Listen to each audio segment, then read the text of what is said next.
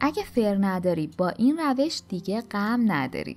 طعم این مرغ حتی از فر هم خوشمزه تر و لذیذ تره کافی سنگ و جایگزینش کنید با اکوکوک همراه باشید. به یک عدد مرغ کوچیک شسته و خشک شده مقداری اصاره زعفران اضافه کنید و خوب ماساژ بدید. اگه هر روز سر درست کردن غذا کلی فکر می‌کنی و نمی‌دونی چی درست کنی پیشنهاد می‌کنم کانالمون رو که کلی غذاهای فوری و جدید که همگی با مواد در دسترس و ساده درست میشه رو داشته باشی که مطمئنم خیلی به کارت میاد. نمک و فلفل سیاه بریزید و دوباره ماساژ بدید. بهتر نمک زیاد باشه چون طعم مرغ رو لذیذ تر می‌کنه.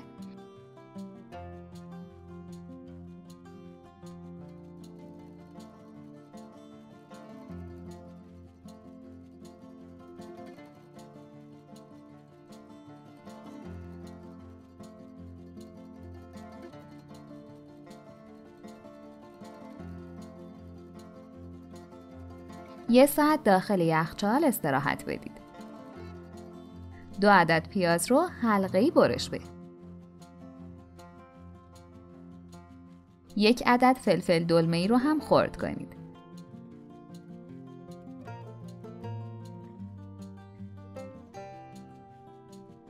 بعد توی ظرف مورد نظر بذارید.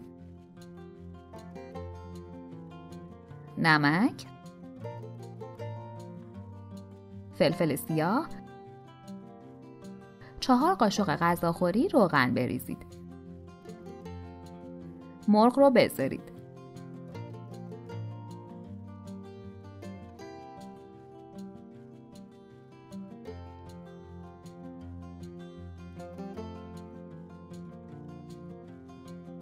در صورت دلخواه چند تکه کره زیر پوست مرغ بذارید.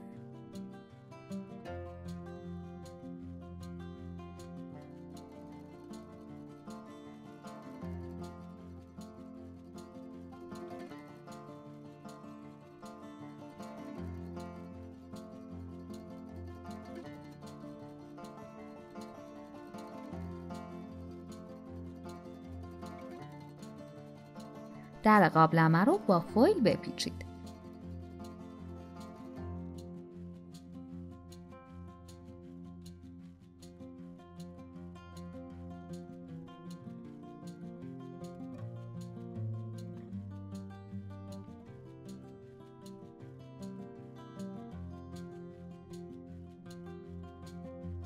قابلمه ای که کفش سنگ ریختید رو روی حرارت و یه توری وسطش بذارید.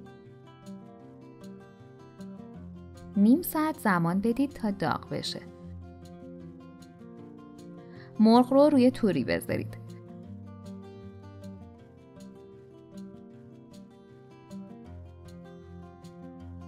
شش عدد سیب زمینی کوچیک شسته شده رو روی سنگ ها بچینید.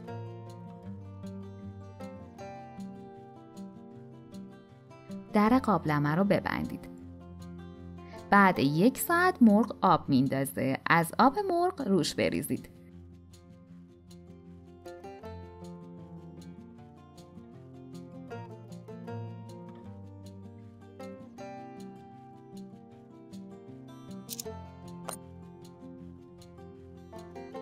دوباره درش رو ببندید.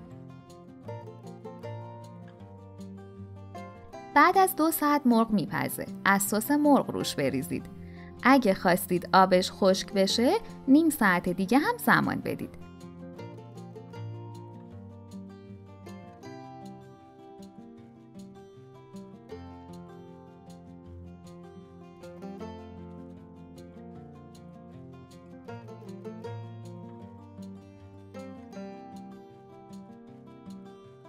ببینید سیب زمینی ها حسابی پختن و تنوری شدن توی بشقاب کنار سیب زمینی های پخته سرو کنید.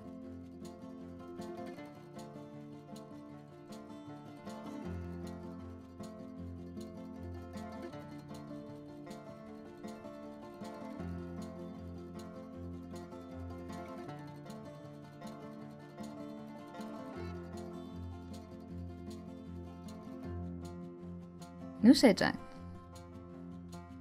اگه از این آموزش خوشتون اومد باید بگم که ویدیوهای جالبتری هم توی کانالمون داریم که حتما باید ببینید. ممنون از وقتی که گذاشتید و این آموزش رو تماشا کردید.